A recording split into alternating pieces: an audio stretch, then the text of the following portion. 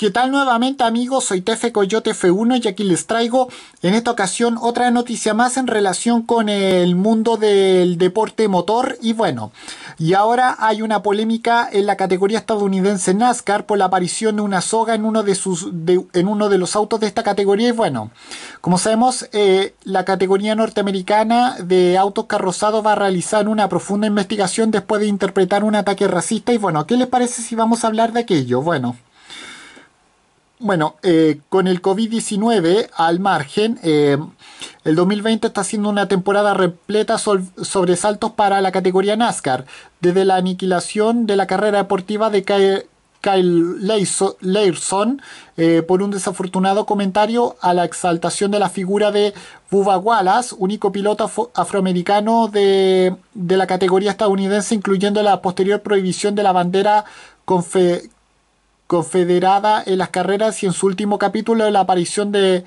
una soga en el garage de un, de un piloto que ha sido interpretado como una amenaza. Bueno, este último capítulo ocurrió en, eh, en el óvalo de Taladega, donde la, donde la NASCAR debía disputar otra carrera más el, reciente fin de semana, si bien la lluvia se, se encargó de que no fuera así. allí en mitad de este ambiente enrarecido, una soga anudada como, como las que se usaban en los ahorcamientos apareció en el box del automóvil número 43, que no es más que no es uno más, sino que es el perteneciente al corredor eh, Bubba Wallace, que como cabría esperar ha sido el más activo en las protestas antirracistas consecuencia de los incidentes en el estado estadounidense de Minneapolis. Bueno, dicha soga ha aparecido en un evento muy restringido por las medidas de, protección ante la pandemia del coronavirus, porque por lo que la categoría NASCAR se mostró tremendamente contra, contrariada, anunciando una profunda investigación para aclarar quién pudo haber sido, haber sido el, el, autor de tal acto de amenaza y así eliminarlo de este deporte. Y bueno, fueron palabras muy textuales.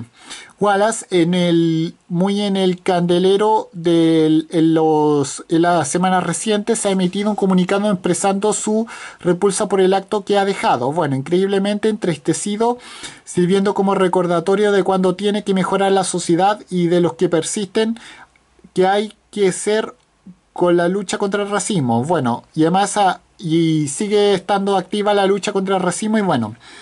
en palabras tanto de, del involucrado como también de la propia serie de carreras, un recordatorio que no hay que abandonar está la lucha que están proviniendo durante las últimas semanas, un acto que llega en el momento justo para ratificar las directrices adoptadas por el campeonato que han gustado en ciertos sectores,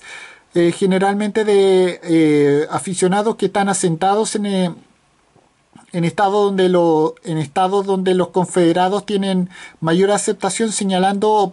por, por, qué hay que seguir luchando en este camino. Bueno, con esto me despido, adiós, que me fuera, chao.